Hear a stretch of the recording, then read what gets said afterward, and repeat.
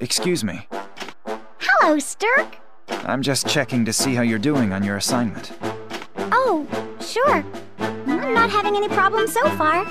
You don't look very enthusiastic. Oh, does it show? I know it can be annoying if I keep bugging you about it, but Oh, it's not you. I was just wondering about that little birdie. you mean the pigeon? Yeah, it was so cute. I wish I could see it again. That bird is my pet. If you want, I can bring it with me next time. You can? Oh, thank you. I'm glad it wasn't me that made her upset, but it sounds like she likes the pigeon more than me.